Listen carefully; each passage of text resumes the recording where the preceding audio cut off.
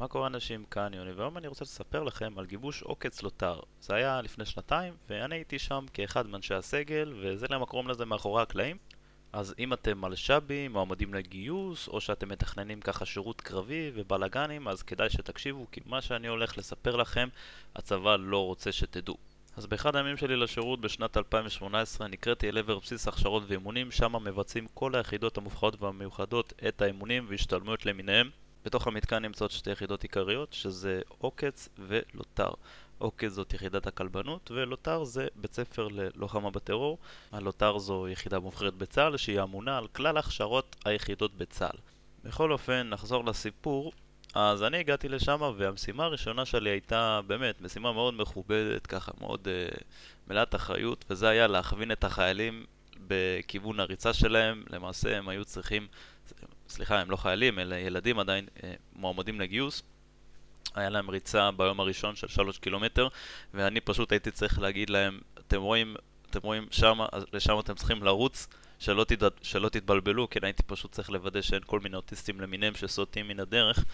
בכל מקרה, אם אתם מועמדים לשם לגיוס, ליחידה, והולכים לעשות, לעשות שם איזשהו גיבוש, אז כדאי שתדעו שיש לכם ריצה. אז אחרי שכל הריצה הזו נגמרה, לקחו אותי אל עבר בסיס עוקץ בשביל להשתכן שם באחד החדרים שאני אעביר בהם את השלושה לילות הבאים שלי. וחבר'ה, אני חייב להגיד לכם, קודם כל, איך שאני באתי ונכנסתי לבסיס עוקץ, אני פשוט התרשמתי ממש ממש לטובה מכמות התקציב המטורפת שמושקעת שם יחסית ליחידות אחרות. בואו נתחיל מהחדר אוכל. חדר אוכל שלהם באמת אחד החדר אוכל הכי מטורפים שיש בצבא. אוכל ממש ממש טוב.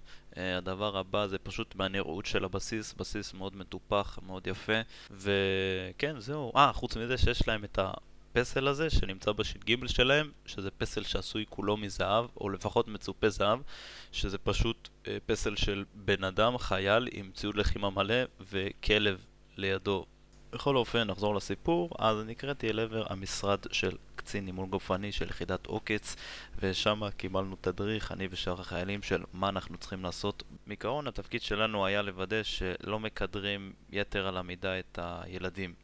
מה זה אומר לא מקדרים יתר על המידה? אז זה דרך אגב נכנס החלק החשוב שבו אתם צריכים להקשיב אם אתם מועמדים לגיוס וזה במהלך הגיבוש, במהלך השלושה ימים הם צריכים לראות את האופי שלכם ועד כמה אתם בעצם נחושים בדעתכם לצלוח את הגיבוש הזה.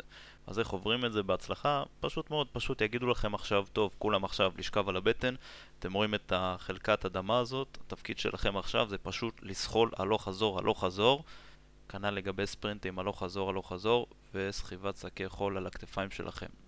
על הדרך הם יכולים לנסות לבלבל לכם את המוח ולהגיד לכם, אה, למה אתם לא רוצים מהר יותר, או מה זה הביזיון הזה, ותעשו את זה יותר מהר, למה כל כך לאט, וכל מיני דברים כאלה ואחרים. אז פה התפקיד שלי בדיוק מגיע להגיד למגבשים מתי הם מגיעים למכסת הטרטורים שהם יכולים להגיע אליה. הרי הם לא יכולים להגיד לילדים פשוט לרוץ בלי הפסקה, נכון? אז אני פשוט, התפקיד שלי היה, זה להגיד להם מתי הם מגיעים לסוף מכסת הטרטורים שהם יכולים להגיע. למשל, כל פעם כשמישהו היה... אה, רץ וחוזר, אז אני הייתי צריך לסמן שאוקיי, הוא עשה עכשיו סיבוב אחד, ואז בהתאם לכך, לכמות הסיבובים שהם עשו, אני הייתי צריך לסמן בהתאם על דף הנייר כמה פעמים הם רצו, בשביל שאני אוכל בסוף לבוא למגבש ולהגיד לו, שמע, הם מגיעים עכשיו לסוף, אתה חייב לתת להם הפסקה כי זה יותר מדי. ככה זה בכל הגיבושים, בשייטת 13, סרט, מטכ"ל, אה, כל יחידה שאתם יכולים לחשוב עליה. פשוט רוצים לראות עד כמה אתם נחושים בדעתכם לנשוך שפתיים כמה שיותר זמן ולא לאבד תקווה. וככל שהזמן עובר ככה אתם יודעים שאתם מתקרבים לסוף. וככה כל הפסטיבל הזה נמשך כשלושה ימים. אני חושב שהלילה הראשון שהתחילו לטרטר אותם זה היה בחמש לפנות בוקר, ואז בלילה השני זה היה בשלוש לפנות בוקר. אז בלילה השלישי והאחרון התחילו לטרטר אותם בשעה אחת, ככה שאתם מבינים שגם אני הייתי צריך להתייצב איתם ביחד אותה נקודת uh, טרטורים נקרא לזה ככה וגם עליי עברו לילות uh, לא פשוטים כשהיו לי איזה שלוש שעות שינה בין לילה ללילה.